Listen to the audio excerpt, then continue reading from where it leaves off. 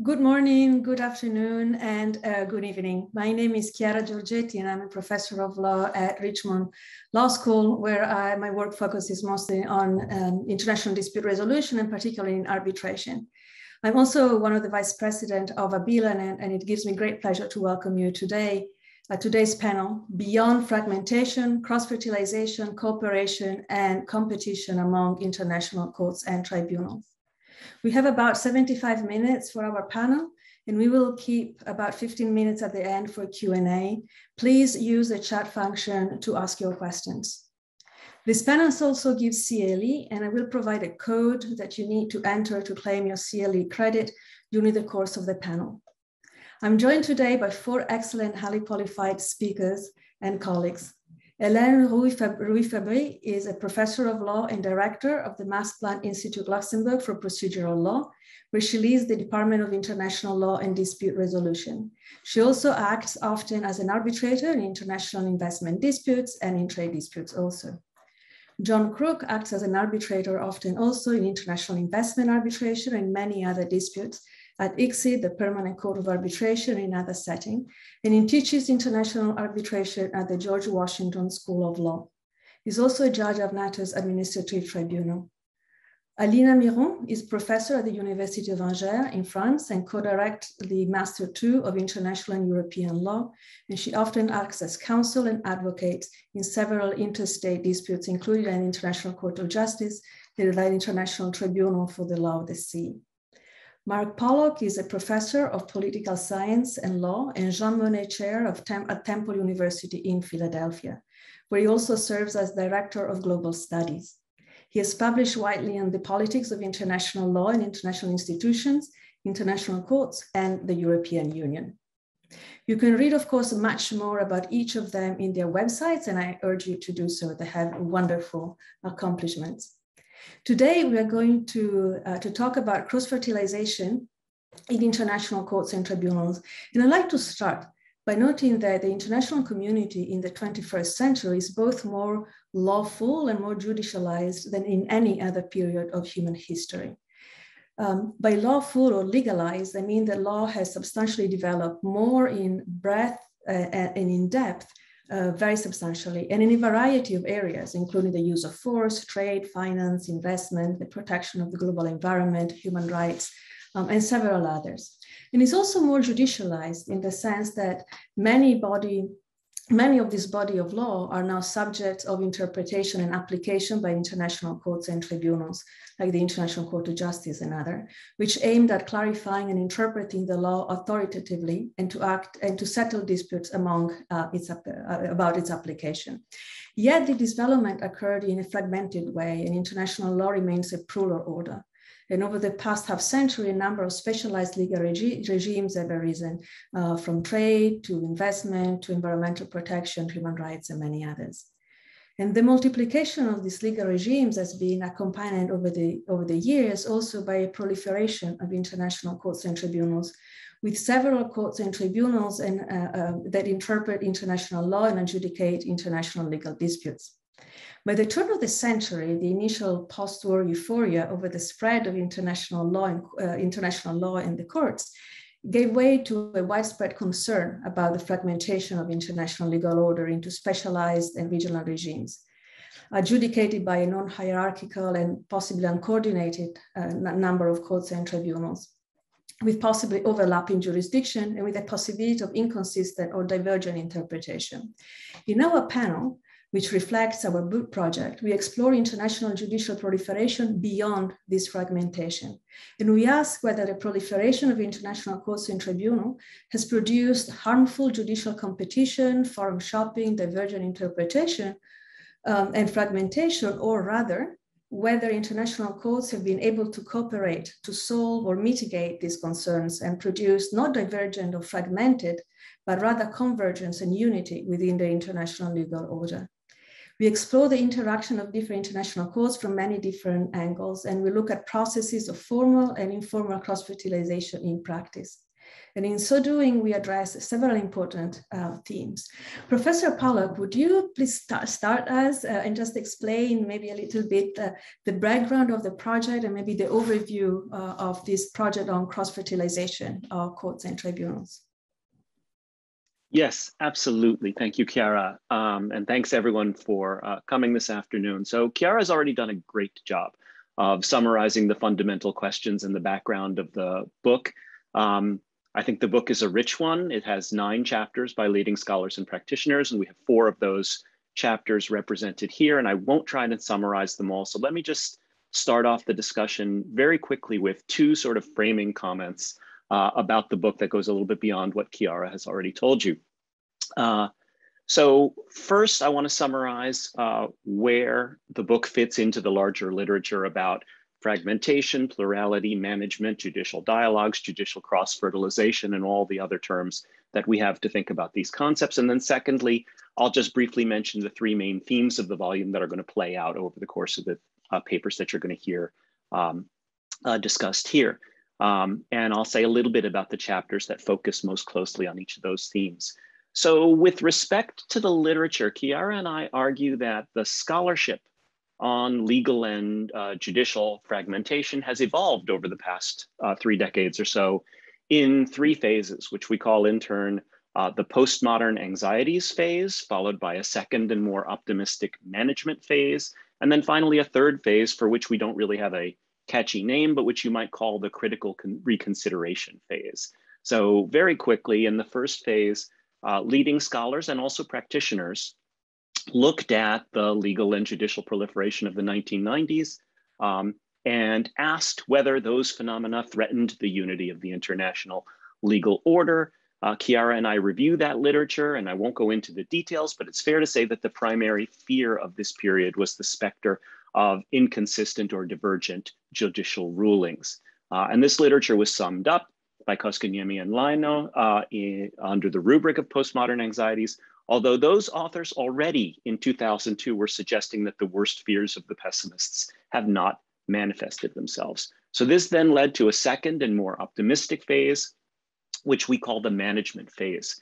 After Laurence Boisson de Chazournes' uh, management theory, although it also includes Chester Brown's uh, common law of international uh, procedure, Anne Marie Slaughter's work on judicial dialogues, Chiara's work on cross-fertilization, um, and lots of empirical work by scholars like Jonathan Charney and Philippa uh, Webb.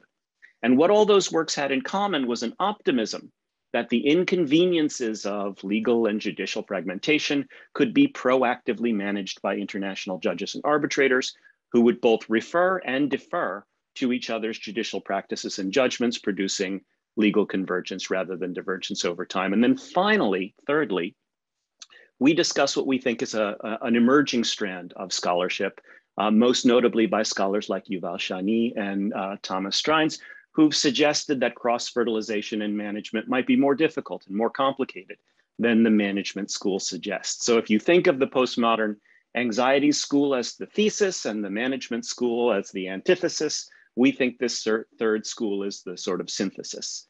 And it's in this spirit of uh, synthesis or critical reconsideration that we undertook this project of this volume to revisit the question of um, judicial cross-fertilization and address the nature, the variations, the gaps, the asymmetries in that process.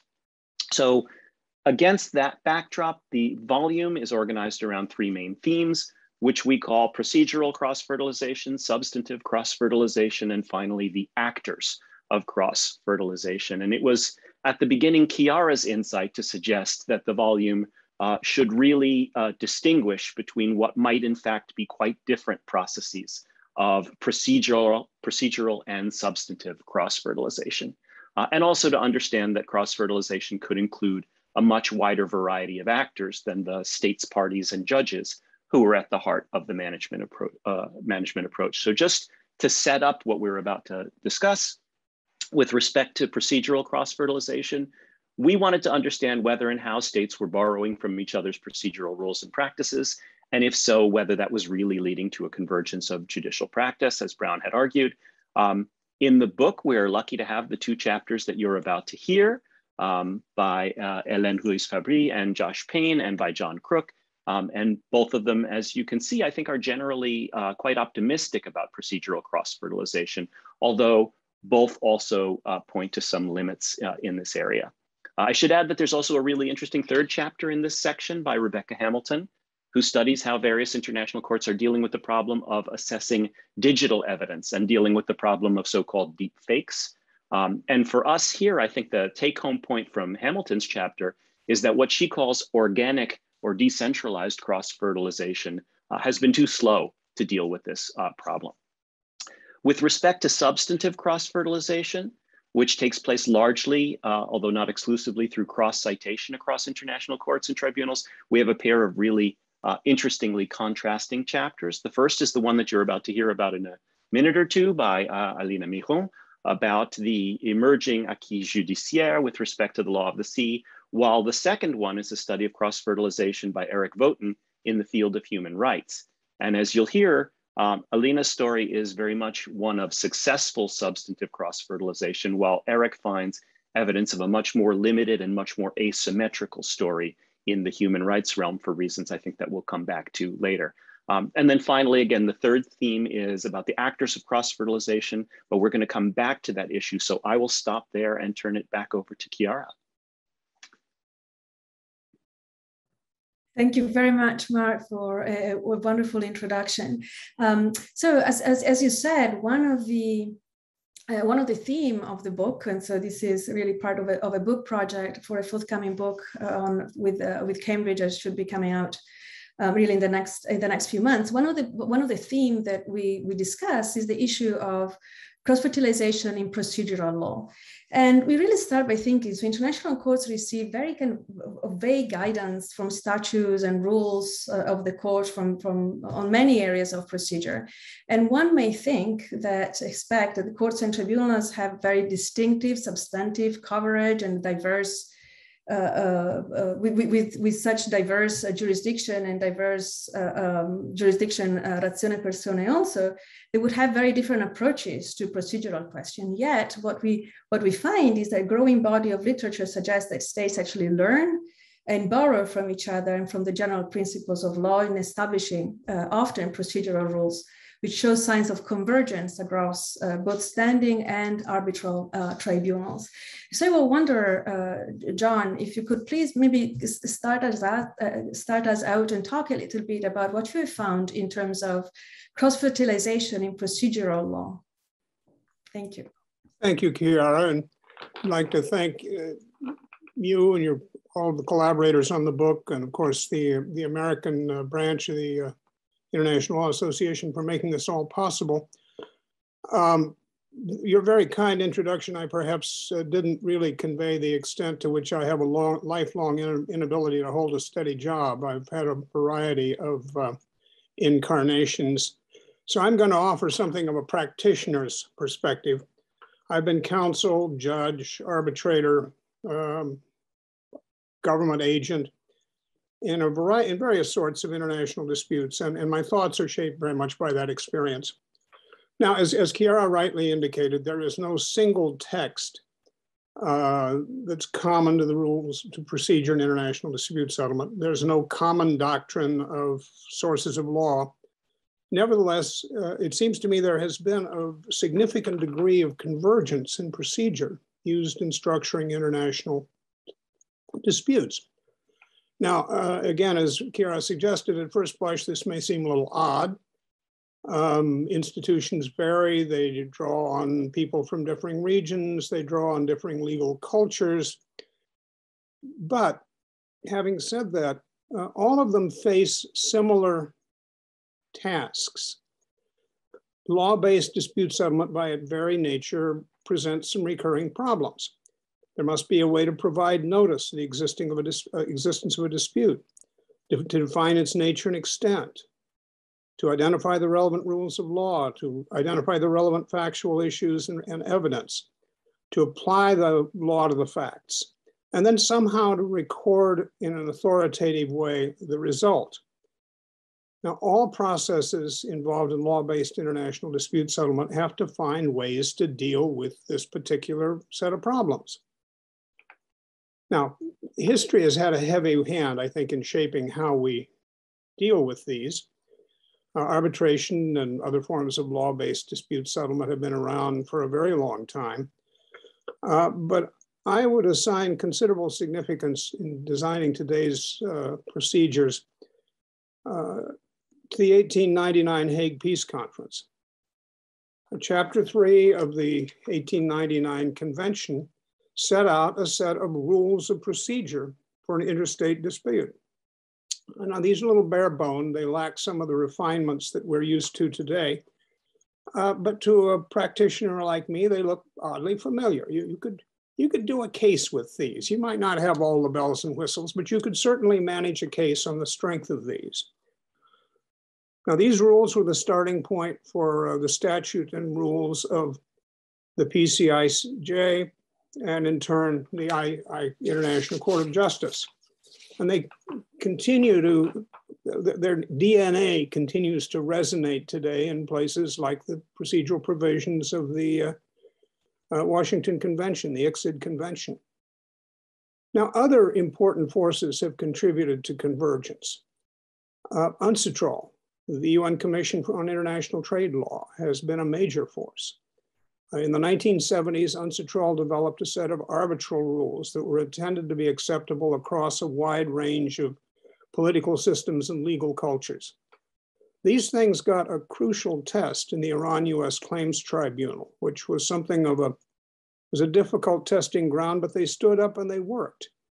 And in the course of this, uh, a whole generation of young arbitration lawyers, and I was one of them, I was the American agent in the tribunal for a number of years at that time, um, discovered that these rules work and that the process of arbitration works. Uh,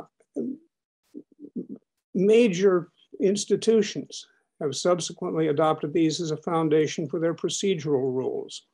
PCA generated a wide array of rules based on the UNCITRAL rules, and they continue to be used widely in ad hoc arbitrations, both in commercial and investment arbitrations and in disputes between states. Now, UNCITRAL has made other major contributions. Uh, a key one is its model law on investment arbitration, on, sorry, on, on uh, commercial arbitration, uh, which sets us framework for the interface between the process of arbitration and national jurisdictions. It's been adopted by 85 countries and about 115 different jurisdictions. It's been a powerful contribution to the global convergence of uh, procedure in arbitration and elsewhere.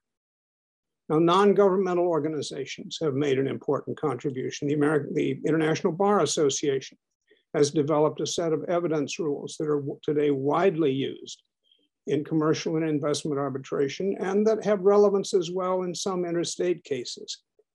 Uh, they've developed standards for guiding arbitrators' disclosures and uh, are at work on questions relating to uh, the ethical imperatives for both decision makers and counsel.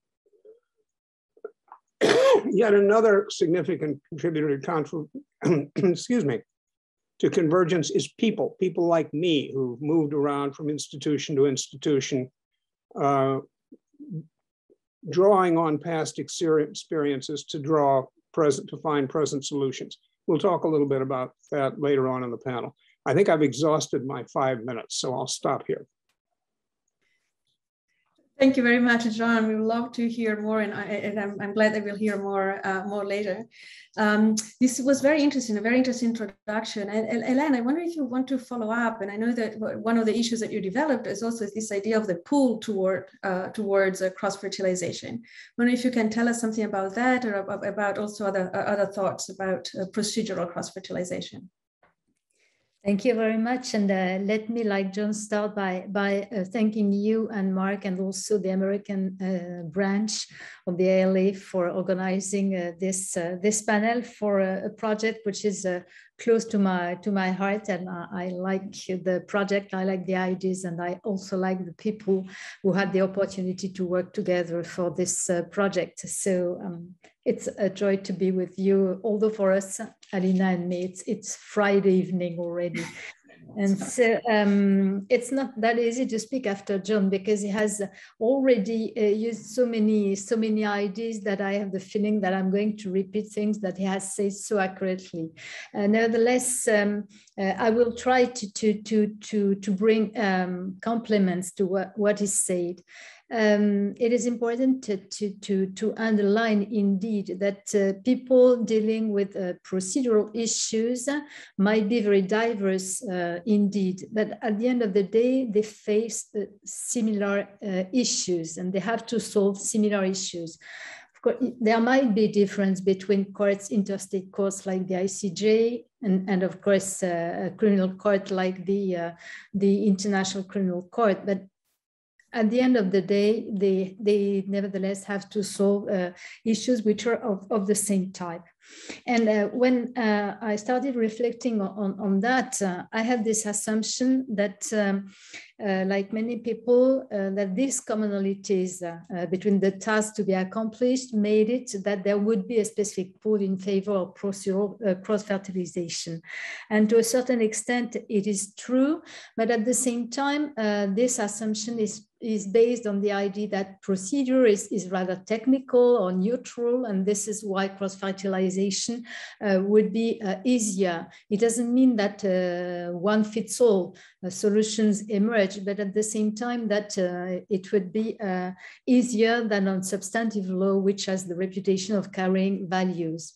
And yet, in fact, cross-fertilization or studying cross-fertilization reveals among other things, the, the, the political potential of procedural rules. It's, uh, uh, it's uh, an opportunity to reveal some stakes which, are, which comes with the, the, uh, the, the, procedure. And uh, that's also a very, very interesting aspect something which is also interesting beyond what uh, John said and the, the mini text to, to, to which he, he referred is that um, beside this text, uh, judges have to, to, uh, to make many uh, procedural uh, decisions along proceedings. And uh, they have these procedural decisions are like bottlenecks in the process. If decisions are not, not made, the, the case cannot proceed. And uh, in other words, adjudicators have a duty to decide. And when you speak about duty to decide, you, you, tend to think about the final decision. But in fact, it is a duty which plays all along the proceedings and which involves a lot of, would say what we could call micro decision, but which which are uh, one-way decisions in the in the sense that once they are done, there is no way back most of uh, most of the time, and so they can play a role in in um, framing and shaping the proceedings. Yet, in terms of, of, of tools, uh, the statutes of uh, many courts are not very uh, talkative about procedure. And uh, going further, you will say, yes, but there are rules of procedure indeed. But what is interesting there is that uh, for most international courts, adjudicators themselves are in charge of making these rules. And in the few cases where they do not make these rules, they can nevertheless make other instruments, maybe soft law instruments like practice directions or guidelines or directives or manuals.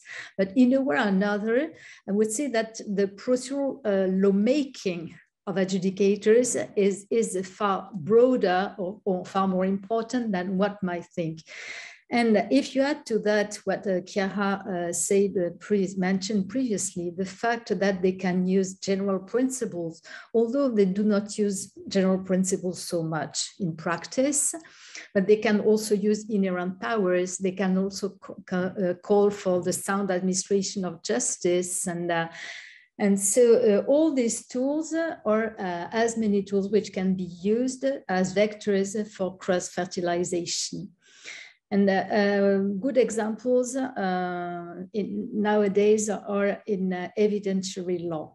In fact, if you look at, most of, of the texts, they do not deal with evidence. And evidence have become has become a, a, more important, more and more important issues uh, along the fact that uh, cases have become more and more complex, the fact that uh, uh modern technologies allow to bring more and more evidence at the same time, um, makes it that uh, all courts in all types of cases face this issue of dealing with uh, an enormous body of, uh, of evidence with the um, request of fact finding also, and they are not uh, equipped with rules to deal with that. And so they have to, to, to look for good means of, of uh, solving these issues.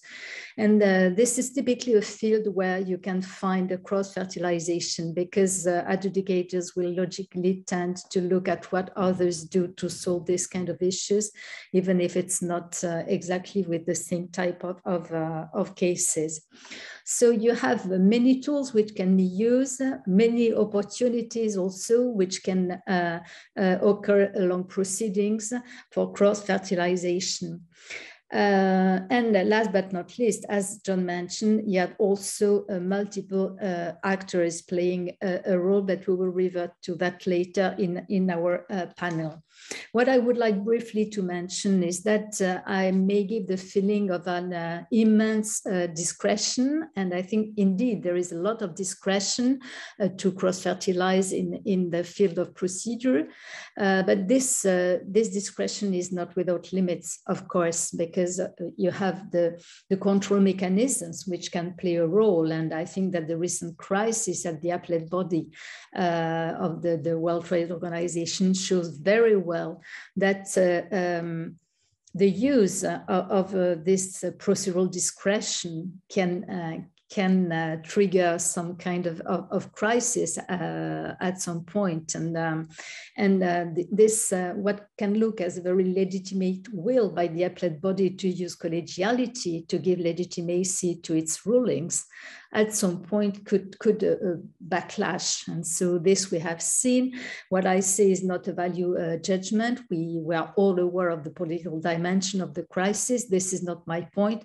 It's just to say that um, even if judges have um, very wide discretion, this discretion is not without limits, if only because the stakeholders at some uh, and at some point could uh, um, whistle that the game is over, and uh, it happens as we can uh, we can see.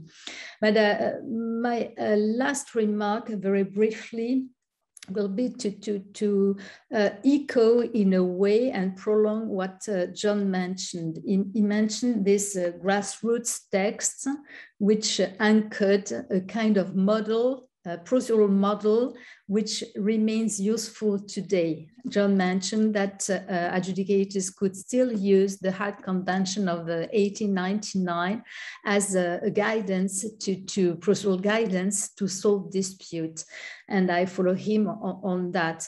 But I think that uh, more recently, uh, the, um, I would say the, the enormous body of uh, case law by international uh, human rights courts on due process also plays a role. Whether we like it or not, our legal education is shaped to think about uh, dispute settlement according to a, standard uh, which is um, uh, framed and, and refined through uh, the, the, the case law of human rights courts.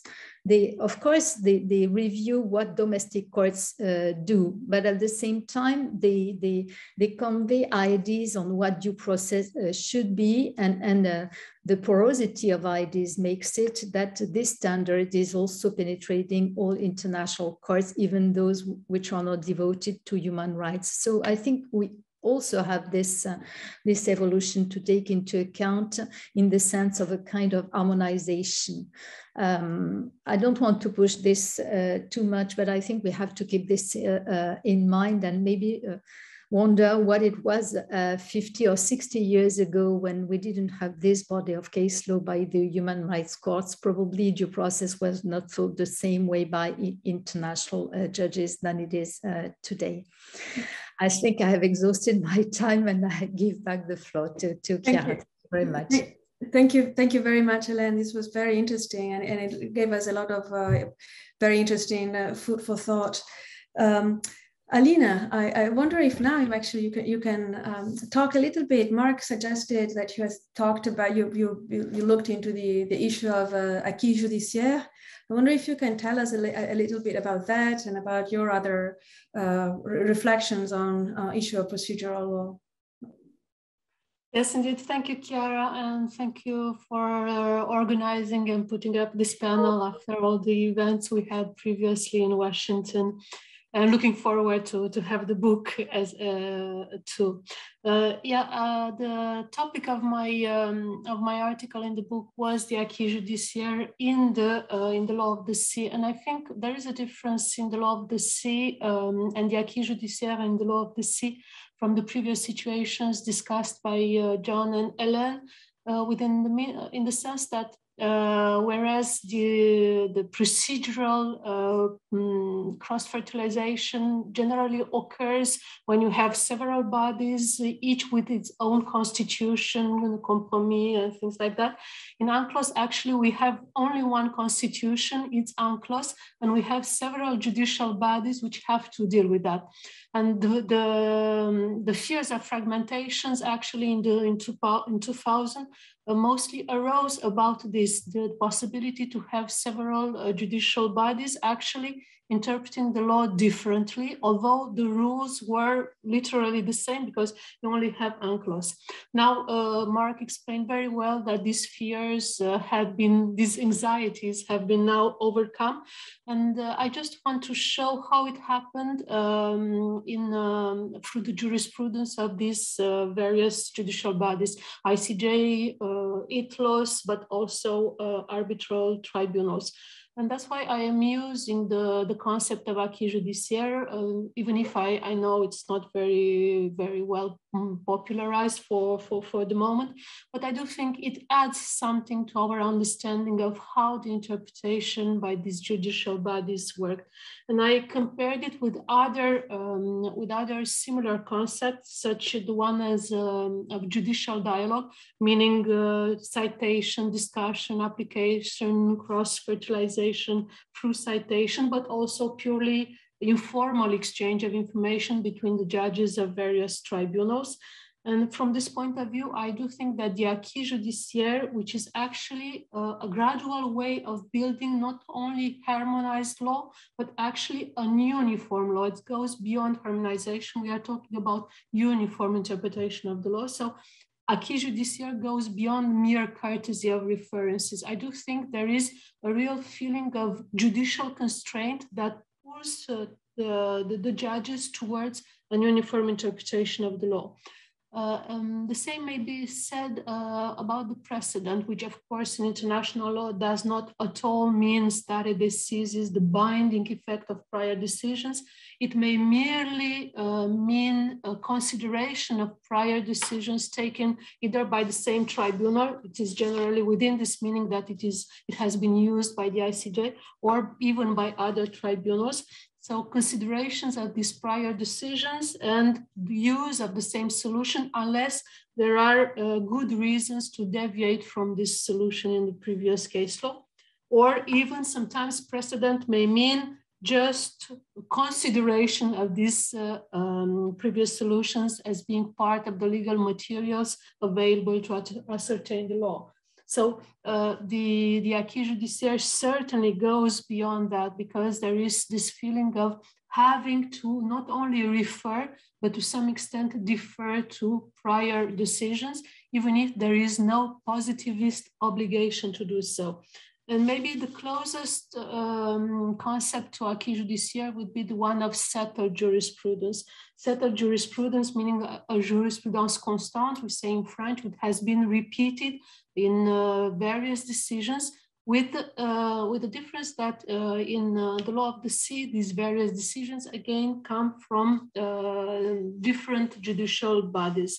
So maybe the acquis judiciaire gets closer to settled jurisprudence.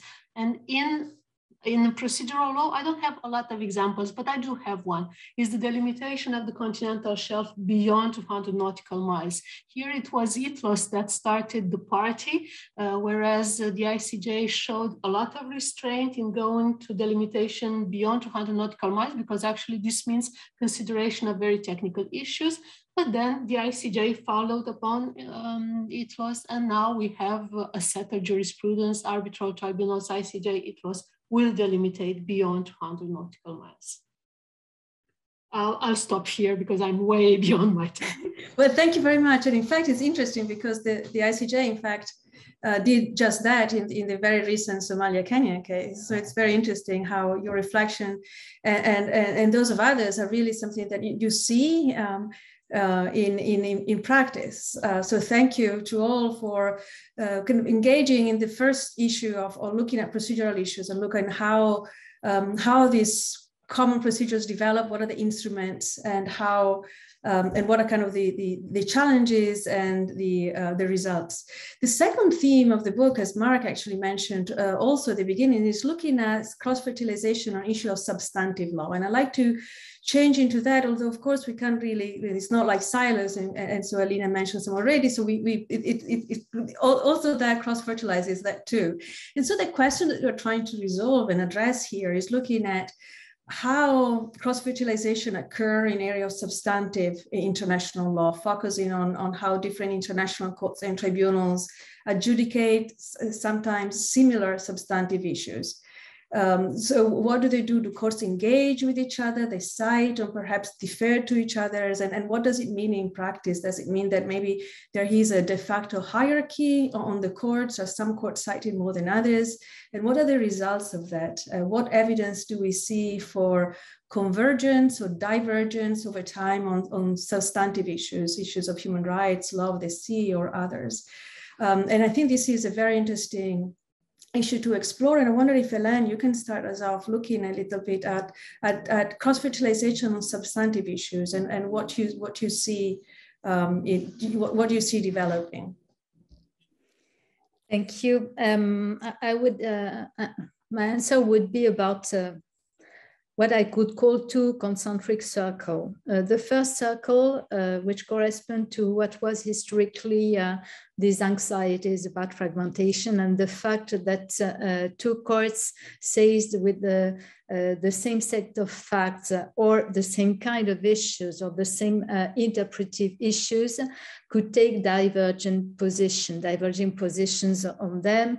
Uh, and, and, when it happened once between the, the International Tribunal for former Yugoslavia and the ICJ, there was a big fuss in, in the small world of international lawyers. If you look back uh, over the last three decades, in fact, there are very few cases where you can find an open contradiction between courts. And that's very interesting. And there is uh, probably a strong uh, sociological um, uh, drive behind that in the sense that uh, uh, courts are aware of the issue, people uh, populating the courts are aware of the issues, and uh, and so you you will find very few occurrences of of uh, of open contradictions between courts.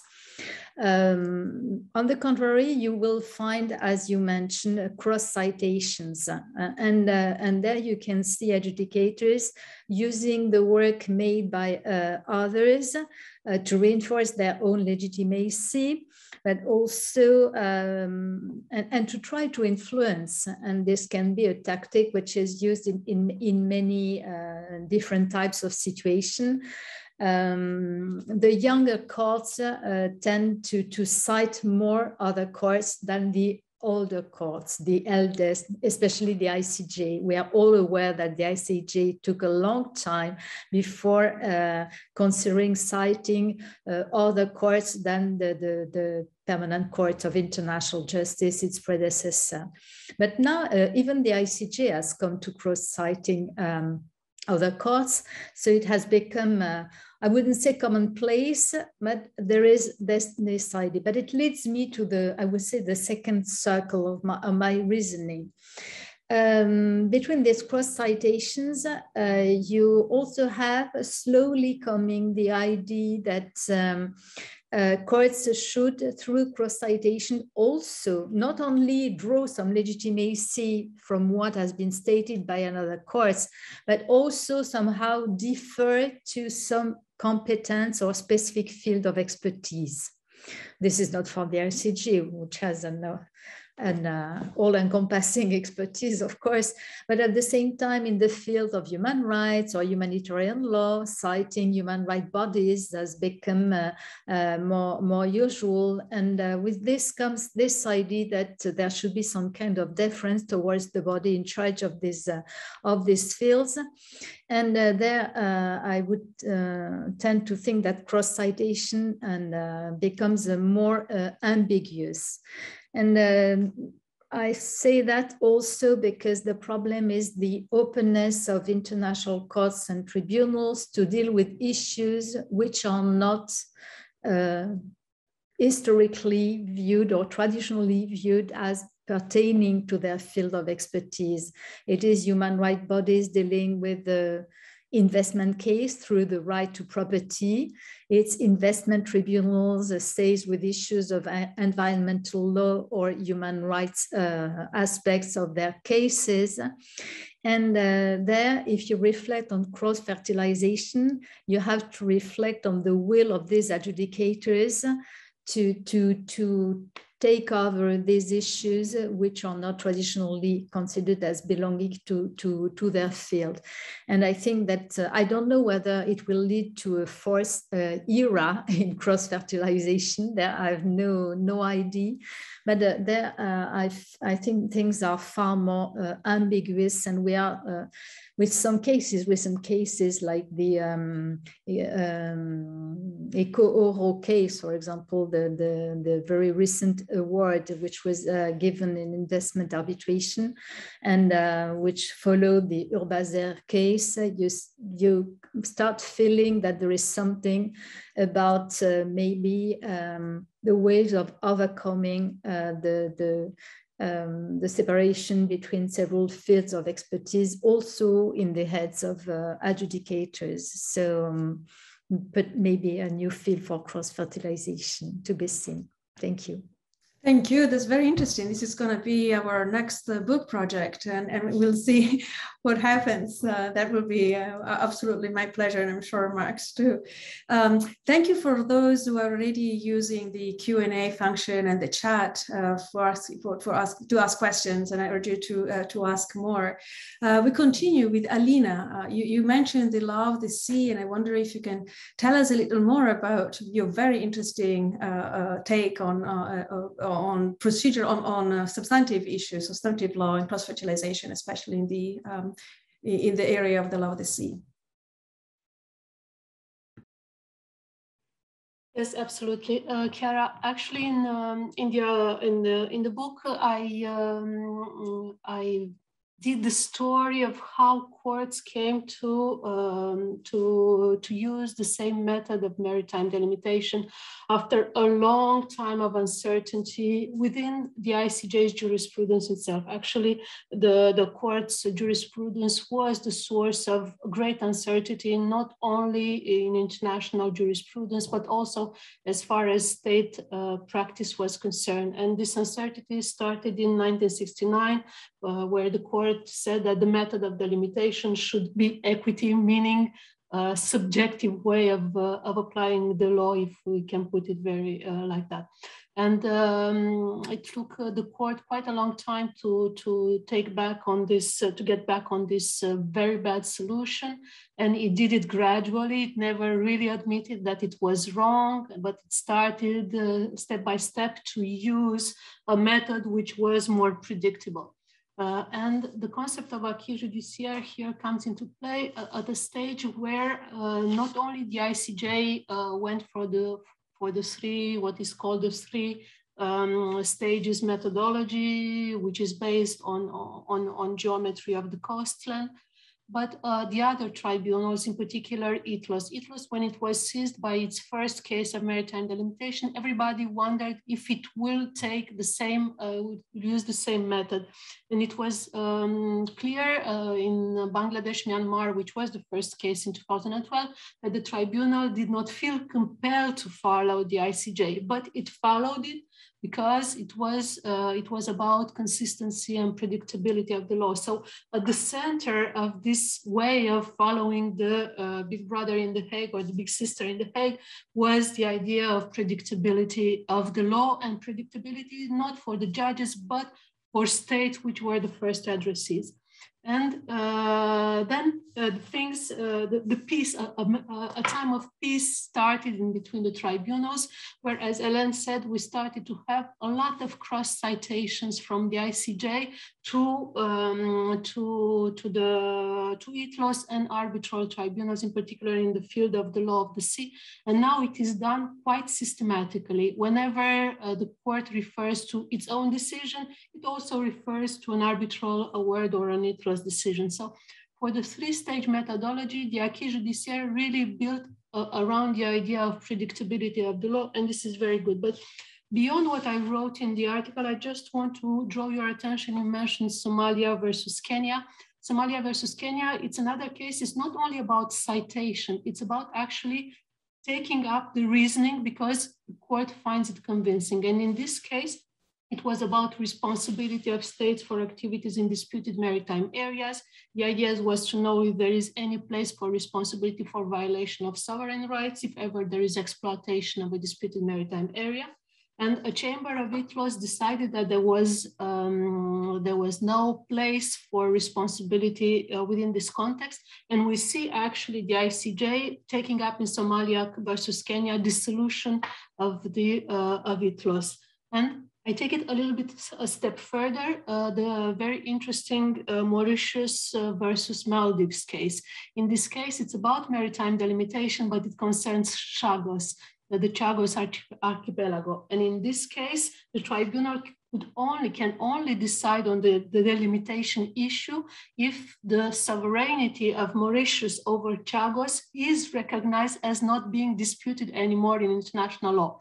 And the decision of the tribunal um, rests a lot, gives great, great weight to the advisory opinion of the ICJ. So this is beyond actually uh, just citation. It is taking it as an authoritative de decision of law.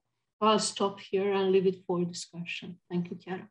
Thank you very much. This is indeed very interesting, and, and I was talking to my students about this uh, this, this very decision. I think it's uh, it's really quite uh, quite interesting. Um, John, I wonder if you can can tell us something about your your views about substantive uh, issues of cross fertilization in substantive law from your uh, from your perspective. Here too, I think I'm going to offer a fairly simple-minded perspective. Um, as has been pointed out, it is black letter law that there is no, uh, the common lawyer's rule of precedent does not obtain in international law.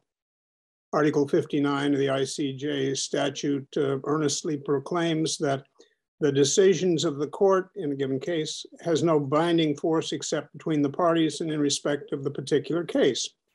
And in a formal sense, that's, that's of course true. Uh, but as has been pointed out, and as, as who, people who are engaged in international adjudication know, uh, that's not the whole story. Um, international lawyers and courts, tribunals routinely look across the horizon uh, for solutions to problems that they may, uh, they may confront uh, and particularly where there has been a pattern of consistent decisions in pointing in a particular direction, um, tribunals are going to be very loath to move in any different directions for the reasons that uh, uh, have been uh, compellingly explained here. Uh, or if you're going to move in a different direction, you need to find to come up with a very convincing explanation as to why.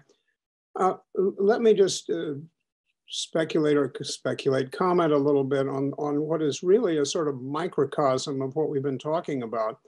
Um, I've, I've, recently concluded, I, I, was introduced as a judge on the NATO Administrative Tribunal. Unfortunately, that's no longer true. I have been kicked off by term limits.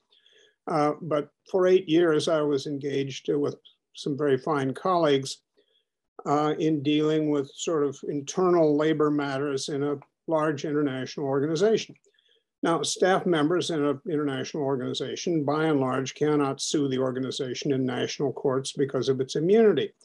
Um, but for a whole variety of reasons, they have to have some reasonable and fair and objective avenue uh, for seeking redress of employment related grievances. And so NATO, like lots of other large international organizations, has created its own in house little labor court. Our small organizations often uh, make use of the uh, tribunals of larger ones, notably the ILO. Now, the NATO tribunal uh, applied a fairly well uh, developed body of administ international administrative law governing labor management relations within the organization. Now, where does this law come from? Now, some of it is reflective of past decisions of the tribunal or its, its predecessors. Uh, but there's also a, a great deal of uh, looking to the borders of other organizations and influential tribunals to see how they have dealt with similar situations. Uh, and indeed, a lot of the sort of seminal principles that are settled and accepted in the area uh, derive from decisions, uh, notably of the World Bank Administrative Tribunal, but also decisions of the International Labor Organization. These have resonated beyond the confines of the, organ, the case and the organization in which they were uh, uh articulated and have come to be accepted by players, by tribunals, by staff, and by organizations as reflecting the proper uh, alignment of legal interests uh, in matters of this kind. Uh, not through any formal rule of precedent, but through the kinds of processes that, that my colleagues here have uh, uh, so artfully described. Now, we weren't bound by these in any legal sense of precedent, but we applied them. They applied sensibly, they were sensible, and they reflected the expectations of all of the communities involved. Now here, I'd like to add a little comment prompted by something that Hélène said about the uh, growing interplay of human rights law. I think certainly any administrative tribunal uh, is keenly aware these days uh, that there are lots of people looking over their shoulders and that the immunity of international organizations may turn out to be a very frail thing uh, in the face of courts that are concerned that our staff members are indeed not given uh, a proper and objective opportunity to articulate their grievances. And so, although perhaps not expressed, I, I can certainly attest to the fact that uh, in a, in a well-run administrative tribunal, there is always a keen interest in assuring that there, the requisites of due process are met, uh, knowing that uh, uh, if they are not a disgruntled employee, may very well go to a national court, which may very well be unsympathetic with a, uh, a not very compelling decision, notwithstanding whatever protestations of organizational immunity may be made. Uh, now, the process goes on in lots of other more complicated settings. We've talked about those, and I don't have time to really go into it. Um, but I think certainly for the reasons that, that my colleagues have so artfully explained, uh, there is a great pull to convergence in many areas of substantive law. Thank you very much, John. I apologize for um, the misattribution of the administrative tribunal, but I think uh, uh, I think it's uh, I really I really thank you for uh, for your interventions now and for um, all of your um, very insightful comments. The uh, and actually, it's interesting what you kind of using your experience as a judge of the of the uh, NATO Administrative Tribunal, because our third theme, our third question that we'd like to address today is exactly that. It's talking about the role of actors, because substantive law, procedural law, there are actors that apply it. And so, what is the role of, of actors in cross fertilization? And actors, not only judges and arbitrators, but actors, states, and states that create the law, but use the law and use the courts as um, um, as respondent or, or in any ways as, as or, or as claimants. Uh, and what are the roles of secretariats, of members of secretariats, members of international uh, organizations?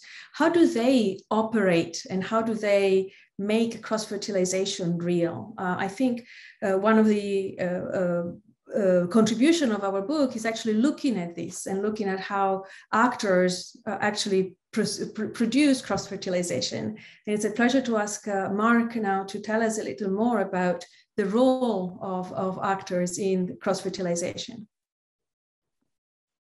Terrific. Thank you, Chiara. So uh, yes, so just to say that uh, from the beginning, part of this volume was always to uh, expand the list of usual suspects uh, in terms of international judicial cross-fertilization beyond the judges themselves and beyond the states parties to the regimes in which international courts are nested, and to think more broadly about what kinds of actors might be involved.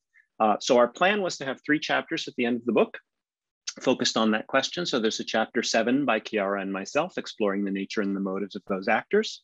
There's a chapter eight by Fedelma Smith, which has a great case study of the role of the Permanent Court of Arbitration as both a framework and an actor uh, in judicial cross-fertilization. And uh, there's a terrific chapter nine by Freya Baetens about the role of litigants and counsel and judges with respect to the question of, of forum choice, which we haven't discussed that much today.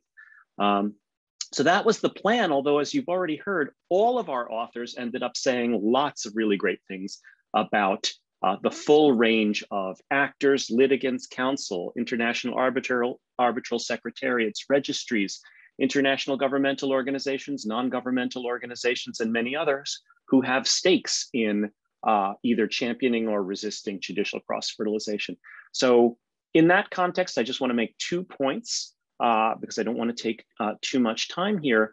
Uh, but first of all, uh, I have to mention the uh, among the among the panelists um, infamous metaphor from Paul Reichler, who in a keynote for the first uh, workshop of this project um, made a, a distinction between what he called two groups of actors in judicial cross-fertilization, the gardeners and the bees. And the gardeners, he argued, were actors like states, judges, international secretariats, who had a direct stake in the unity of the international legal order and who self-consciously seek to build bridges among the various functional and regional elements of that order.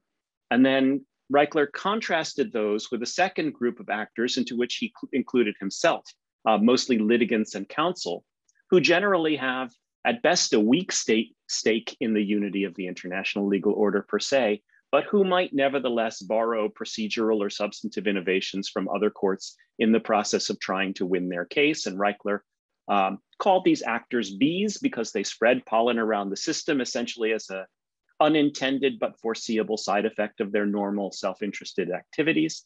Um, and everyone in the project ended up adopting this metaphor and Chiara's and my chapter is called Of Gardeners and Bees.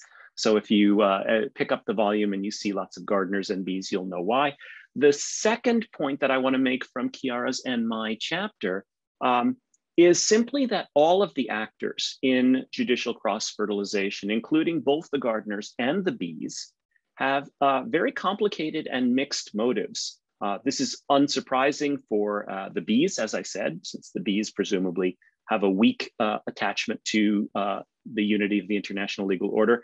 But we also argue that even gardeners, like international judges and arbitrators, who Boisson de Chazournes tells us have a uh, deep concern for the unity of the international legal order, that those, uh, those gardeners nevertheless balance those concerns about unity with more parochial but still very legitimate concerns about the substantive values and the autonomy of their own legal orders. Uh, this is a point Hélène made earlier about uh, oftentimes it's values that are involved here.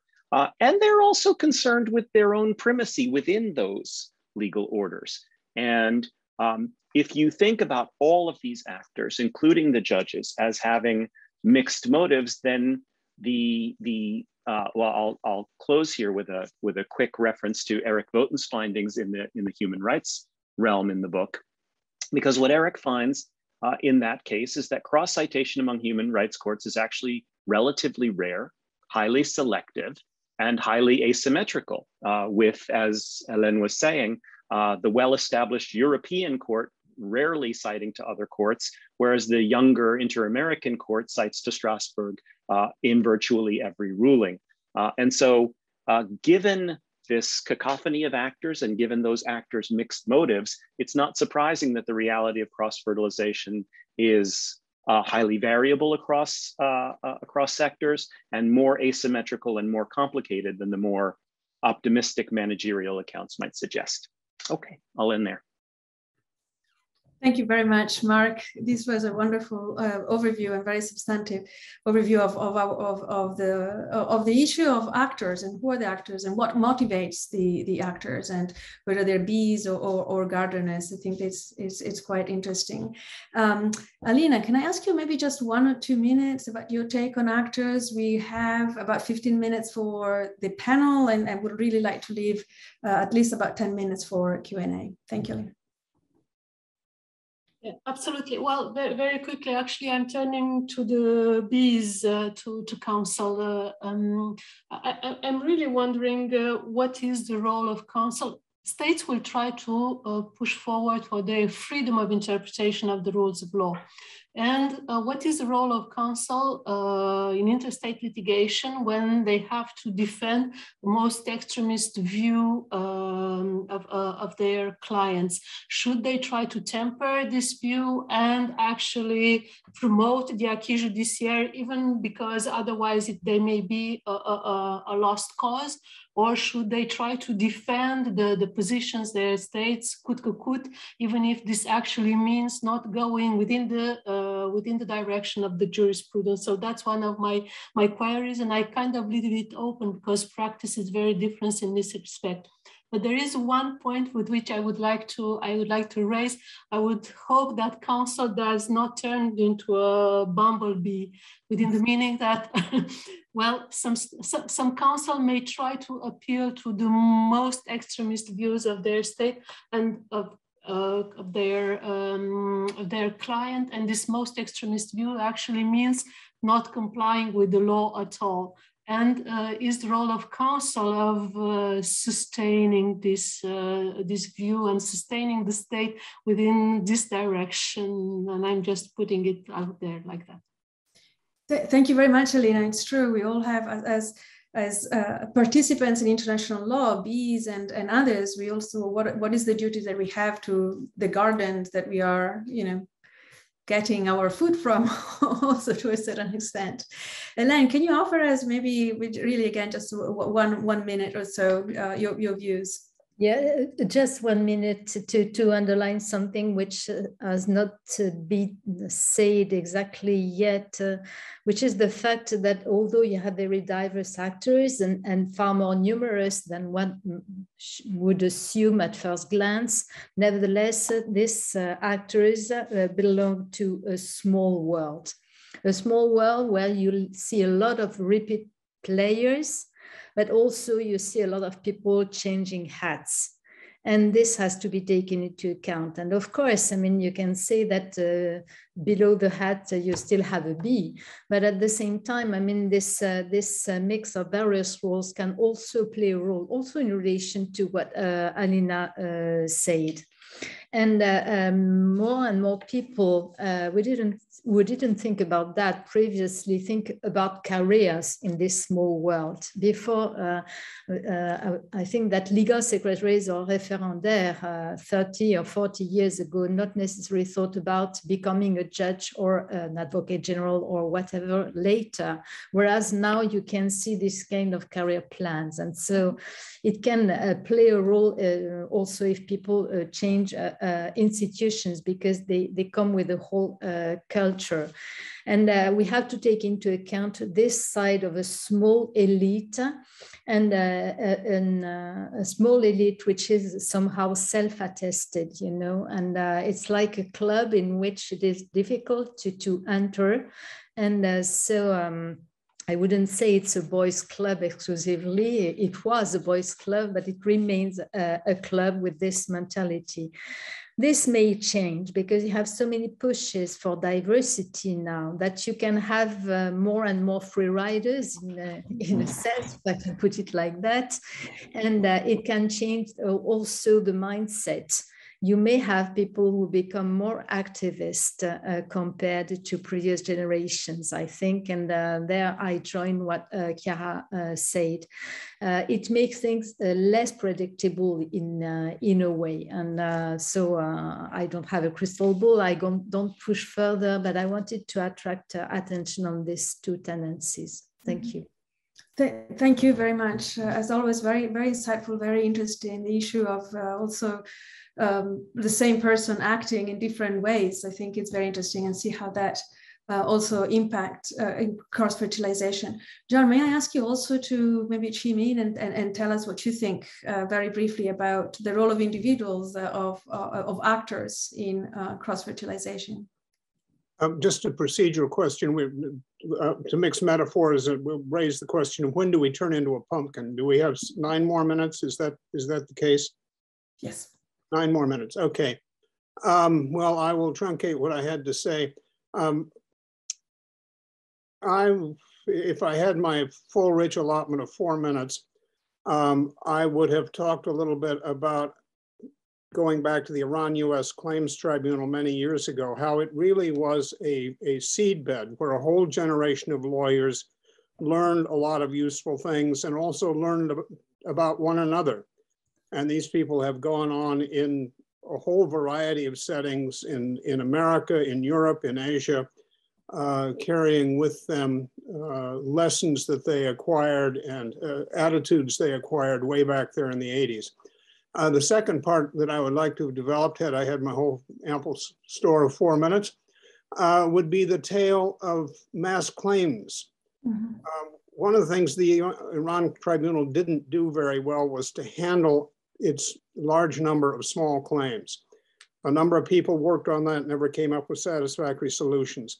Comes 1991, the creation of the UN Compensation Committee Commission, Several of those same people made the migration to Geneva and together developed the tools and techniques that the UNCC used to process 2.7 million claims.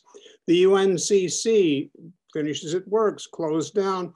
Many of those same people then go on to other institutions, the real property institutions in Kosovo uh, and uh, Bosnia, um, the IOM's programs on slave labor and Holocaust throughout there's a process of a small group of experts progressing through the development uh, of a whole body of legal technology. So people do matter. Thank you. Thank you very much. Yes, I mean, this was really uh, the, the, example of mass claims, I think is quite interesting when you see as, as a cross-fertilization in action and see how these people, how kind of end up uh, in different places.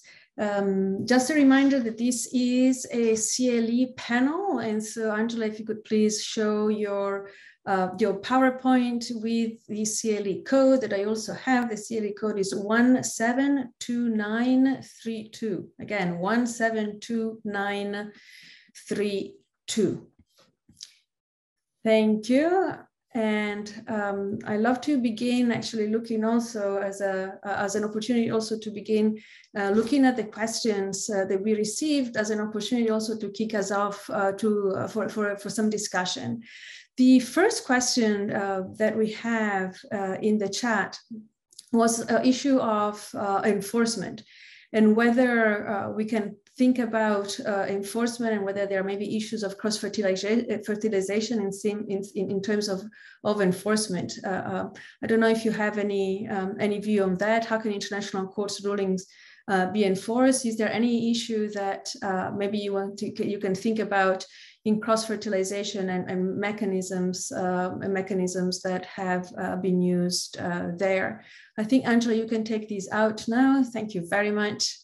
Um, and uh, why don't I ask two questions because we have a couple of, of minutes. Uh, so let me ask, so the, the first question is about enforcement, cross-fertilization and issue of enforcement. The other, which I think is quite interesting also, is the issue of amicus curiae and, and whether the amicus curiae mechanism can play a role in, um, in cross-fertilization. Why don't we begin with these two uh, and then uh, we see if anybody would like to start us uh, with, uh, with, with, with these questions? We have about six minutes.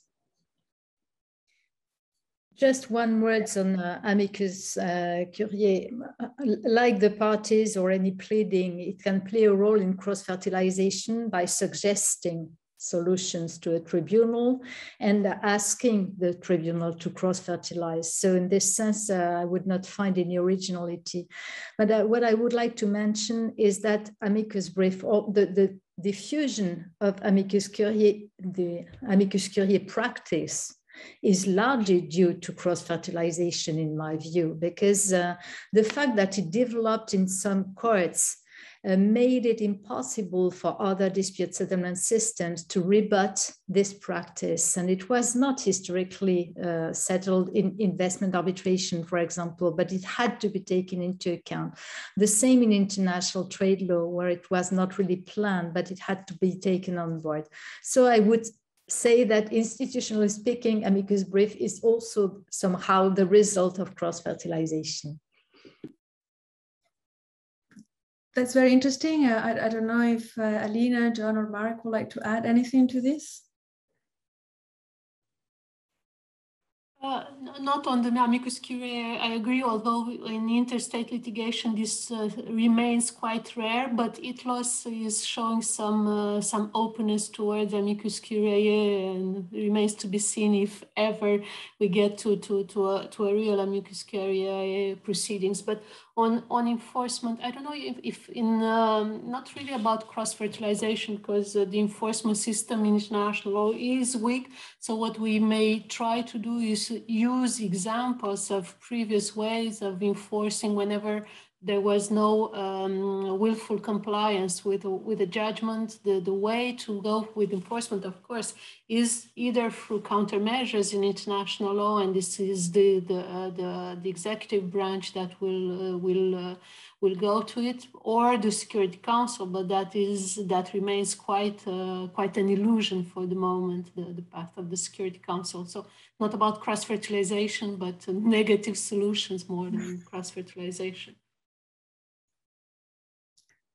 Thank you. We have some other questions I'd just like to read, and then if you'd like to uh, reply, um, feel free. One of the questions was whether we can speak, I think we addressed this already, but can we speak of a general principles of procedural law, as in principles that govern the procedure of any international tribunal, respective of the subject matter of the dispute it adjudicates? We, can, we address it a little bit when we talk about procedural issues. And another one that I think is also quite interesting is whether specialized international tribunals should be obliged to decline jurisdiction when they do not come, when the, the issue do not come within its field of expertise in order to ensure the good administration of justice. Two separate questions, but I think it's quite interesting to see kind of maybe negative cross-fertilization in the second, in the first, in the, in the second issue, uh, and, and, more looking at general principles. Um, in uh, um, in the first one, I don't know if you would like to answer any of these. Alina, John, Hélène, Mark. Uh, I also, Alina, please go ahead. I don't know, maybe if John, because I don't see him on the screen, but oh, well, actually, I wanted to, to, to give some thought on the on the latter issue, the one of uh, of the applicable law and the, the right tribunal for the applicable law, the forum non-conveniens. Well, uh, to my mind, the problem in international law is, uh, in general, to find a tribunal that has jurisdiction. So uh, the, the question it will be, does the tribunal have jurisdiction and to what extent this tribunal um, expands its jurisdiction and the limits of the interpretation of the uh, of the constitutive instrument. So, um, but to, to some extent, of course, tribunals may try to be called, well, states may try to call the tribunals to deal with issues which are not within their competence. And I think it is the duty of the tribunal to re-explain what are the limits of this jurisdiction, because otherwise we are falling into this uh, trap of confidence into the system and uh, confidence in the system also rests upon the, the limits of judicial, um, judicial settlement. But at the same time, uh, the ICJ uh, in Somalia, Kenya raised the issue of denial of justice within the framework of, uh, of the law of the sea. The, the wording was quite, uh, quite interesting to see in the, in the mouth of the ICJ. So that are my thoughts on this. Thank you. That's very interesting. Uh, John, did you, would you like to add anything? Uh, or Hélène, Mark? I think, John, you're muted. You're muted now. There we go. 30 seconds worth. It seems to me that if a tribunal has jurisdiction, it has an obligation to proceed, but it has a variety of mechanisms to help it if it finds itself in deep waters. Every set of rules allows tribunals to require their own experts, and it is ultimately the responsibility of the parties to help. And so uh, I, I, would be very loath if I was convinced that I had jurisdiction to simply say, well, I'm have jurisdiction, but I'm not smart enough, so I'm going to decline it. Thank you. I'll ask this bring us to a, to a close, but I think this is quite interesting. Hélène, I'm sorry, do you mute yourself? Did you did you want to no, say? No, no, no. I, I, I think at the end of the day, the last word by John was a, a wonderful conclusion. so. Well, I think what this also shows us is that it wasn't that we have to convene again, and I very much hope uh, that we will be able to do it. As Hélène mentioned, this is a, a great group, uh, and uh, I loved uh, really every minute of it. So thank you very much to our panelists for wonderful presentations and, and engagement uh, with uh, with the issue of cross fertilization. Thank you very much to, to all of you, and thank you to all those that listened today. and we hope to see you again very soon. Um, and uh, thank you again and good night.